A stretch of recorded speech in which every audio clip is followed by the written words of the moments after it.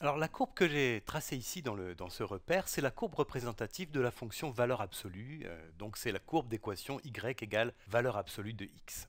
Donc peut-être que tu connais cette fonction valeur absolue. Si tu prends par exemple x égale moins 2, et bien valeur absolue de moins 2 c'est égal à 2, donc c'est ce point-là. Si tu prends x égale à moins 1, valeur absolue de moins 1 c'est 1, donc c'est ici effectivement. Valeur absolue de 0 c'est 0, donc c'est ce point-là. Valeur absolue de 1, c'est 1, donc c'est ce point-là, et ainsi de suite. Comme ça, tu pourrais calculer d'autres valeurs absolues, d'autres nombres. Ce que je voudrais faire dans cette vidéo, c'est réfléchir à la façon dont l'équation va changer si on déplace cette courbe. Et ce qu'on va faire dans un premier temps, c'est déjà réfléchir à ce qui se passerait si on faisait une translation de cette courbe horizontalement de 3 unités vers la droite. Donc si on faisait une translation horizontale horizontale de 3 unités vers la droite. Ça, c'est une première chose. Et puis ensuite, on va se demander ce qui se passerait si, à partir de cette nouvelle courbe obtenue, on faisait ensuite une translation verticale de 4 unités vers le haut. Donc une translation verticale de 4 unités vers le haut. Voilà. Alors, comme d'habitude, commence par mettre la vidéo sur pause et essayer de ton côté de, de, réfléchir à ce qui va se passer si on fait ces deux translations. Bon, maintenant, on va le faire ensemble.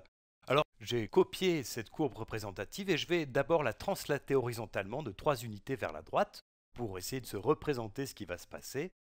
Et faire une translation horizontale de 3 unités vers la droite, eh bien, ça correspond tout simplement à déplacer la courbe horizontalement de 3 unités. Alors, je vais le faire. Donc voilà, je la déplace comme ça. Là, je l'ai déplacée de deux unités vers la droite. Et puis ici, voilà, j'arrive ici et je l'ai déplacée effectivement de trois unités vers la droite. Voilà la courbe qu'on obtient. Et donc ce qu'on cherche à faire, c'est déterminer l'équation de cette courbe-là. Et comment est-ce qu'on peut faire ça? Eh bien, une façon d'y penser, c'est qu'il y a un point particulier dans notre courbe d'origine, la courbe de la fonction valeur absolue. C'est ce point-là, le point de coordonnées 0, 0, puisque c'est un point où on a un changement de pente, hein, un changement de direction de la courbe. Et en fait, ça correspond à un changement de signe de la valeur de x.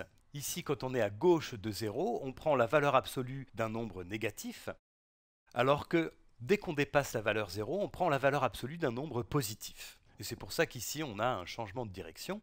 Et ce qui est intéressant, c'est que, en fait, ce point particulier ici, dans notre deuxième courbe, celle qu'on a translatée horizontalement de 3 unités vers la droite, eh bien on le retrouve ici, ce point-là. Et donc en ce point-là, on sait qu'il doit y avoir un changement de signe. Alors ça ressemble tout à fait à une valeur absolue aussi. Donc ce qu'on peut dire, c'est que cette nouvelle courbe, eh bien son équation, ça va être quelque chose comme y égale valeur absolue de quelque chose. Alors maintenant, il faut qu'on arrive à déterminer valeur absolue de quoi hein Qu'est-ce qu'on met dans la valeur absolue ici? Alors pour faire ça, ce qu'on peut se dire, c'est qu'il doit se passer la même chose quand x est égal à 3 dans cette nouvelle fonction que quand x est égal à 0 dans le cas de la fonction valeur absolue. Autrement dit, ici, il faudrait que quand x égale à 3, j'arrive à avoir ici quelque chose qui est égal à 0. hein. Alors ce que je peux faire tout simplement, c'est prendre x et lui soustraire 3. Puisque ici, effectivement, quand x est égal à 3, eh bien je vais avoir 3 moins 3 qui va faire 0. Donc j'aurai effectivement 0 ici, donc valeur absolue de 0. Ce qui veut dire que en ce point-ci, il va se passer exactement la même chose qu'en ce point-là pour la fonction valeur absolue. On va faire quelques tentatives pour voir si c'est cohérent. Alors quand x est égal à 4 par exemple, 4 moins 3 ça fait 1, on a donc valeur absolue de 1 qui est égale à 1, c'est bien ce qui se passe ici. Euh, je peux prendre x égale à 2 par exemple. Alors quand x est égal à 2 ici, on va avoir 2 moins 3, c'est-à-dire moins 1, donc y égale valeur absolue de moins 1, c'est-à-dire 1. Et c'est bien ce qui se passe ici. Donc tu vois ici que ça a l'air cohérent tout ce qu'on fait, et en fait je te présente ça comme ça en regardant si ça marche avec différents points, parce que pour moi la première fois que j'ai été confronté à ce problème-là, c'était pas si évident que le fait de déplacer horizontalement une courbe de 3 unités vers la droite, ça correspondait en fait à soustraire la valeur 3 de notre variable x. Alors maintenant, on va voir ce qui se passe quand on déplace cette nouvelle courbe qu'on a obtenue ici euh, verticalement de 4 unités vers le haut. Alors comme tout à l'heure, je vais le faire pour voir comment ça se passe. Donc voilà, je prends ma courbe, je la déplace ici de 1 unité verticalement vers le haut, 2 unités, 3 unités et 4 unités, j'arrive ici. Voilà. On obtient donc cette courbe-là, et tu vas voir qu'en fait ce qui se passe, c'est beaucoup plus intuitif dans le cas d'une translation verticale dans le cas d'une translation horizontale.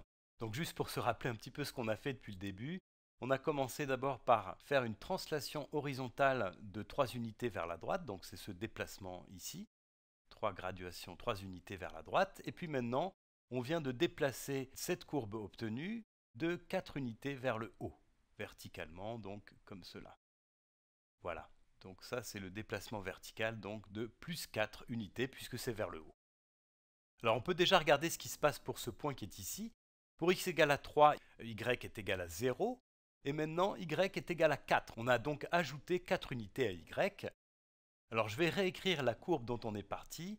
On est parti de la courbe y égale valeur absolue de x moins 3, hein, ici, celle qui était ici, qu'on a déjà déplacée horizontalement. Et du coup, en fait, pour obtenir la troisième courbe, la dernière, eh bien, ce qu'il faut faire à chaque point, c'est ajouter 4 unités, puisque on se déplace de 4 unités vers le haut. Et ça, intuitivement, c'est quand même un petit peu plus simple à comprendre que le déplacement horizontal qu'on a vu tout à l'heure, puisque ici, en fait, l'ordonnée de chaque point est augmentée de 4 unités. Donc la valeur 4 qu'on ajoute ici, eh bien, elle correspond exactement au déplacement qu'on a fait verticalement. Donc ça sera toujours comme ça quand tu as un déplacement vertical.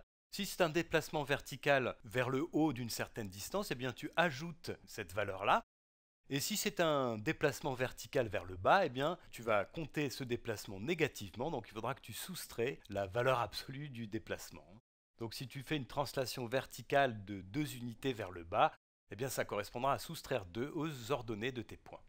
Alors voilà, là on a terminé. L'équation de cette troisième courbe qui est ici, eh bien c'est y égale valeur absolue de x moins 3 plus 4 et si tu veux t'en convaincre, il suffit que tu prennes quelques valeurs. Par exemple, pour x égale à 3, on a ici valeur absolue de 0, donc 0 plus 4.